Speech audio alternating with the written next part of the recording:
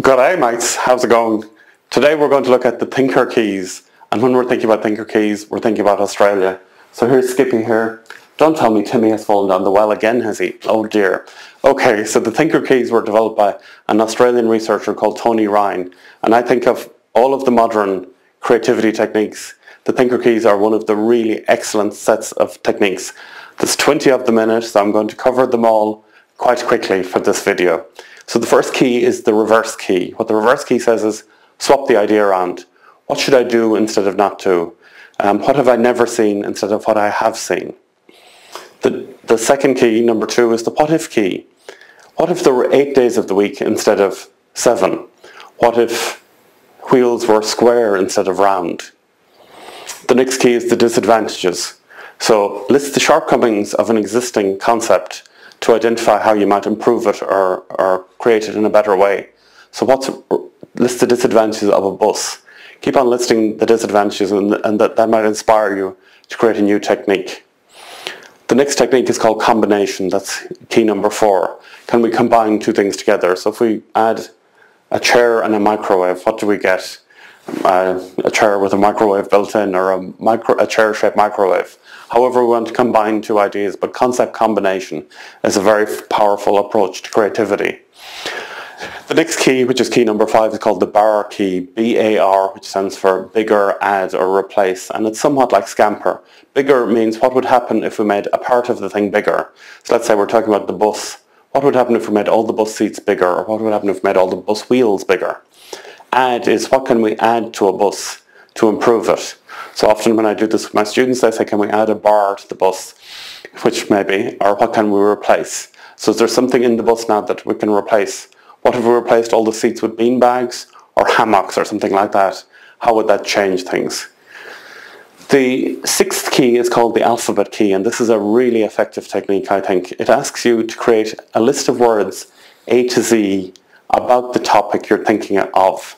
So just for an example, I'll do computers. So I'll think of 26 words about computers, each one starting with a different letter.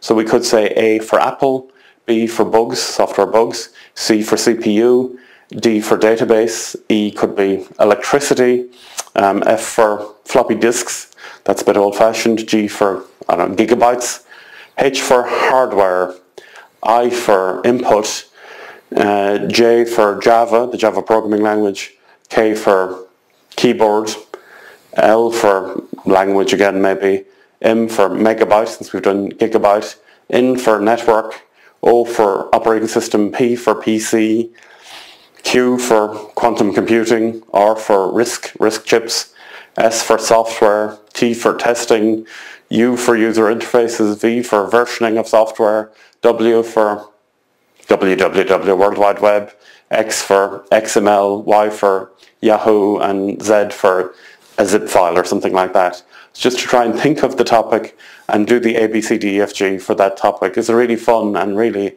informative exercise, I think. The seventh key is called the variations key. So list the alternative ways you can do something. So let's say it's telling the time. List as many different ways as you can of telling the time.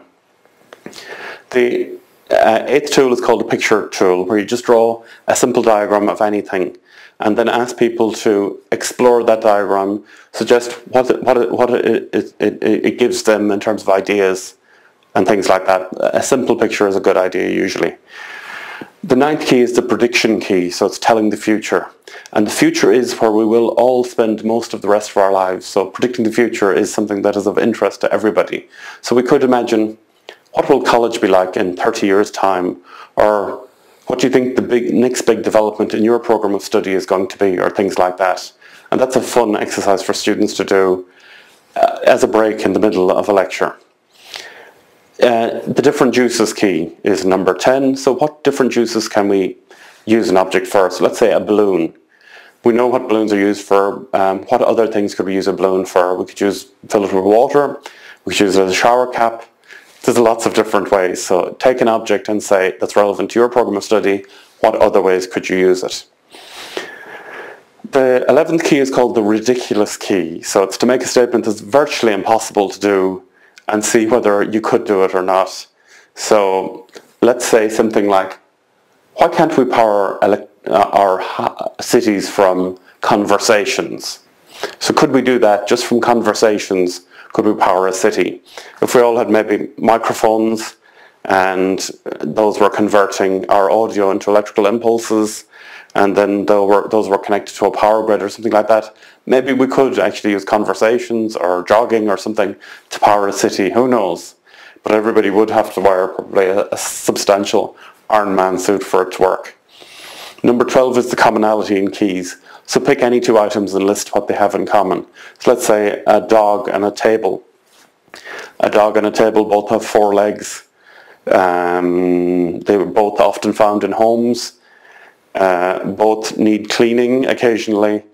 Uh, and both have owners. So there's a lot of things that they have in common. So to pick any two diverse objects and think about what they have in common. The next one is a fun one. It's called the question key, where you're given the answer and list five questions that might produce that answer. So let's say the answer is key. Um, how do you open locks could be one question. Somebody who sings badly is said to be off what? Um, the stone on the top of an arch in, in any um, building is called what? It's the what stone. It's the keystone. Uh, in in in the theatre, the light that lights the principal light that lights a scene is called the what light. It's the key light. And what did Tony Ryan, the Australian researcher, suggest there are 20 of? Keys. The next key is number 14. It's called the brainstorming key. So it's to state a problem and then brainstorm as many solutions as possible to it. So let's say our problem is encouraging people to read more books. And we want to brainstorm as many different ways we could encourage people to read books as possible. Maybe we could get the government to ban television for two days a week.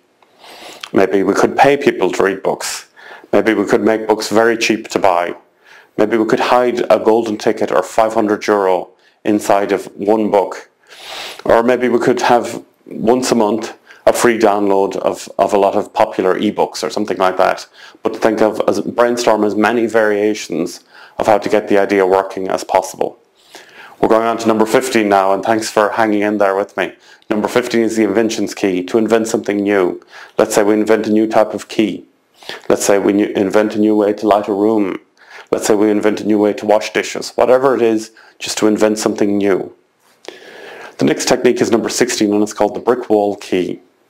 To say something that's completely indisputable and then argue about it. So let's say the statement is what goes up must come down. And I, wa- I want you to think of as many different arguments as to when what co- goes up must come down is wrong. Not in outer space is one way of thinking about it. If it goes up but gets stuck, it's not going to come down. If the thing that goes up is lighter than air, it's probably not going to come down for a good while. And one thing that does go up but doesn't come down is taxes. So when taxes go up, they definitely don't come down, I'm afraid. All right, we're getting to the last few now. So number 17 is the construction key.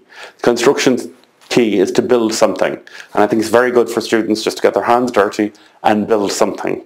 So construction key, we might take random items like sellotape, paper, uh, drinking straws and things like that. And a common exercise is to build a container that will hold an egg, but you can throw it out a window and the egg will not break with common materials like that. There's another one to use, it's called the Spaghetti Tower Challenge, to, to use uncooked spaghetti to build a tower and ho- hold a marshmallow on top of it and to see can you build it in such a way with sellotape that the spaghetti tower won't fall down. Number 18 is the forced relationship keys.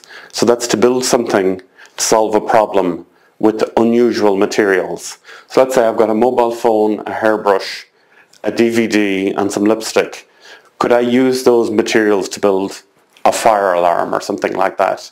So take a bunch of random materials and think of a way of building a specific goal with those unusual materials. Okay, number 19 is the alternative material. So it's to do a common task but in an unusual way. Let's say to brush your teeth without a toothbrush. Let's say to tell the time without a clock. Let's say to cut the grass without a lawnmower or to light fire without matches. So again, think of different ways of doing very common tasks. And our final key is number 20. It's the interpretation key. So it's to create an unusual scenario and come up with multiple explanations from it.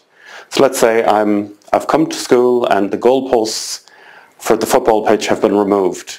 I want to come up from explanations as to what happened. It could be that a car backed into the post and it splintered it so it was too dangerous, so I had to take the post down.